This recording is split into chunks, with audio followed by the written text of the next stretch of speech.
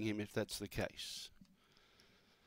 But uh, with a trouble-free run, no bad luck, better than bank interest, and I think even slightly less risk. You'll get 10% for your money, only 8% now as the money keeps going on, and the green light goes on. Favourite box eight, set to go. Away in racing. Oh, he began well. He's up there, up there, vying for the lead. Going with him is Emily Zero, but Daniel's Charlie's about to burn him off and cut across and goes clear. Daniel's Charlie in front by four lengths now, trying hard in second, placing Emily Zero. Then Trickeration behind those, Mr. Somebody and Ricketts Point.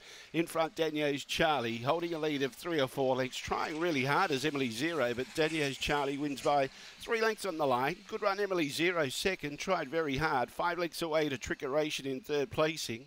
And then we had Mr. Somebody and Ricketts Point together at the tail end of the field. And he was uh, certain to run a PB here today, uh, as mentioned. 22.19 the time. 22.19, he jumped quite well.